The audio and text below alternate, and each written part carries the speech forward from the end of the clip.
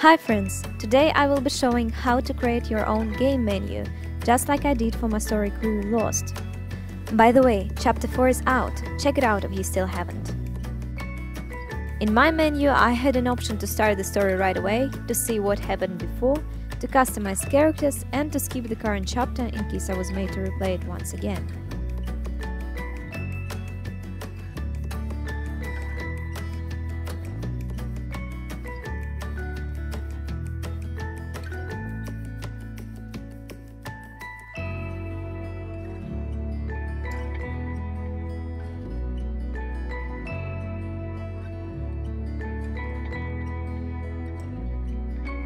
So the first step will be choosing the background for your menu. It could be the cover of your story or practically anything else you would like to use. For this menu, I will use a random episode background. Keep in mind that the size of your image should be 640 to 1136 pixels, just like a regular background. Now we need to choose buttons. I prefer to look for them on the website kisspng.com. I will leave a link down below. There are a lot to choose from. Let's pick this one. Open it in Photoshop, copy it using Ctrl plus C and paste it to the background using Ctrl plus V. Now we need to resize this button. We can do this by pressing Shift plus Ctrl plus T. Play with it until you are happy with the result. We need to make three more buttons by copying the original one. You already know what hotkeys can help you with that. Level them under each other.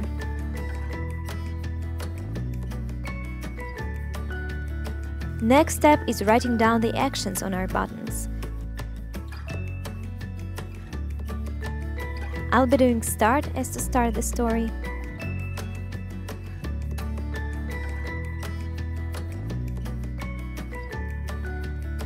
previously as to show what happened before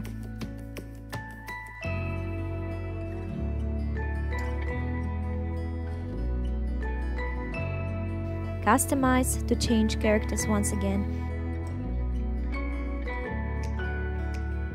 and skip this episode in case anyone was forced to reread it. Our menu is ready. Now save it in JPEG format and load it in the art gallery as a background.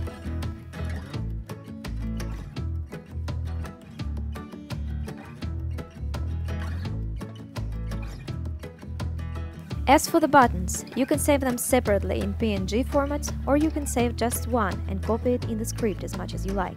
This way your overlay gallery won't be overloaded. I will show you later how you can do this.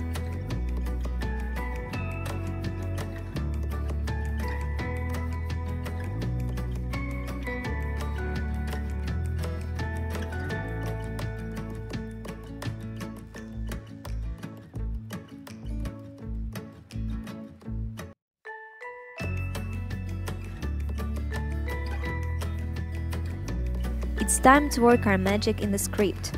Add the minigame background and look carefully what I'd be doing next. I'm creating the buttons from the overlay silver button that we saved earlier. The command is overlay start, here it's the overlay we would like to create, create from silver button. Do the same with the rest of the buttons.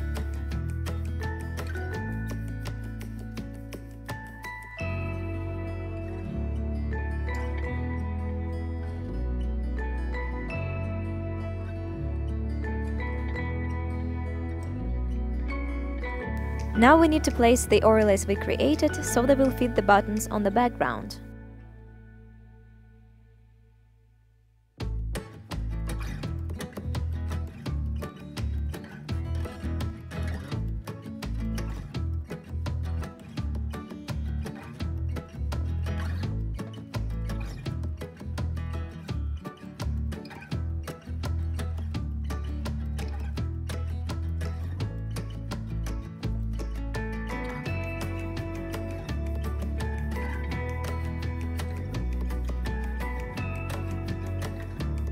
Let's make this menu interactive.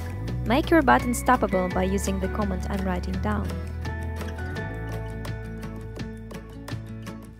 Now we need to make these buttons do things they were created to do. For all of them, we will need to create labels.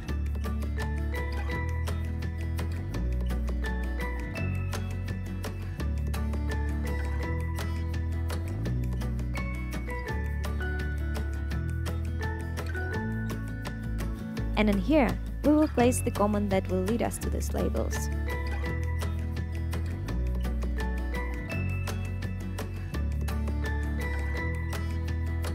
We also need to create a label for the game menu to give your reader the choice to come back and choose other options.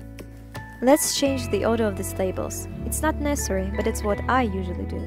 Previously will be the first one. Here you should put some pieces from your previous episodes. In the end of this label, we should put the command Go to Game menu.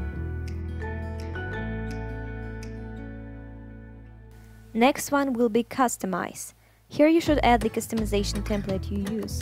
At the end, you also need to add a command Go to Game menu.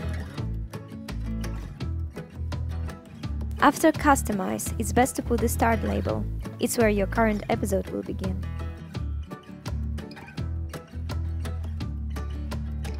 And the last one will be skip.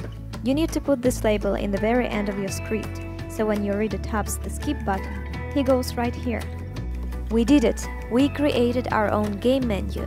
Also, I made a post on my Patreon page where I share this template and empty buttons in PNG format, so you can create a menu of your own. Thank you for your attention. See you in the next video tutorial.